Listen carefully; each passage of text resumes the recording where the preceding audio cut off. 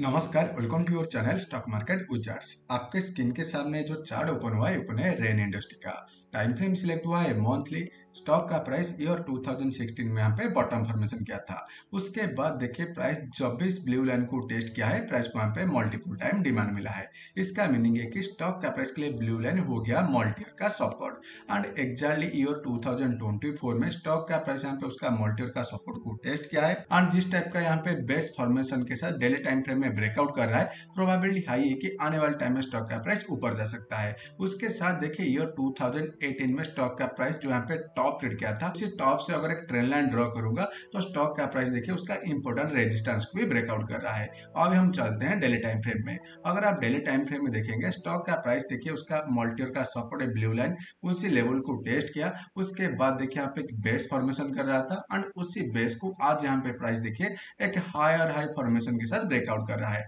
And जिस type का breakout कर रहा है प्रोबेबिलिटी हाई है आने वाले टाइम में स्टॉक का प्राइस ऊपर जा सकता है। उसी केस में प्रीवियस स्विंग लो आठ आज एग्जिट पॉइंट जो कि बन रहा है बिलो 164 देखिए स्टॉक का प्राइस एक स्ट्रॉन्ग बेस फॉर्मेशन किया है मल्टीयर का सपोर्ट के आसपास, उसके साथ एक स्ट्रॉन्ग हायर हाई फॉर्मेशन के साथ ऊपर जाने के लिए रेडी है। बस रिस्क को डिफाइन करने के लिए बिलो 164 यहाँ पे स्टॉप लॉस को प्लेस करना है। तब तक प्राइस 164 लेवल को नीचे की तरफ़ ब्रेक नहीं करता है। ये चार्ट सेट वैलिड रहेगा एंड प्रोबेबिलिटी हाई है कि आने वाले टाइम में स्टॉक का प्राइस शॉर्ट टर्म में टेस्ट करेगा 219 दिस स्विंग है को शॉर्ट टर्म में टेस्ट करेगा। एंड यहाँ पे अगर 219 को टेस्ट कर लेता है, उसी केस में जो बड़ा टाइम फ्रेम का टारगेट बनेगा, वो बनेगा नियरली 274 एंड 274 को ब्रेकआउट करने के बाद जो था टारगेट बनेगा, वो लाइफ हाई बड़ा टाइम फ्रेम का ब्रेकआउट आने वाला है। बड़ा टाइम फ्रेम का ब्रेकआउट को अभी से डेली टाइम फ्रेम में जिस टाइप का हायर हाई फॉर्मेशन क्रिएट किया है, आप यहाँ पे उसको प्री अटेम्प्ट कर सकते हैं। उसी हिसाब से आपका रिक्स वार्ड क्वांटिटी को और खुद का एनालिसिस को ऐड कीजिएगा।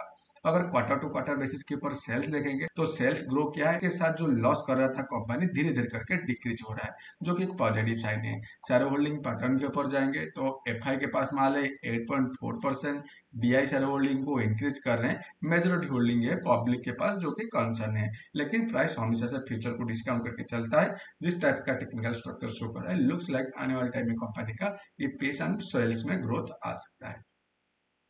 स्टॉक को आपके वॉच लिस्ट में रखना चाहिए। मैं आशा करता हूँ आप डिटेल्स एनालिसिस समझ पा रहे होंगे। वीडियो अच्छा लगा, वीडियो लाइक कीजिएगा चैनल सब्सक्राइब कीजिएगा। नमस्कार, जय हिंद।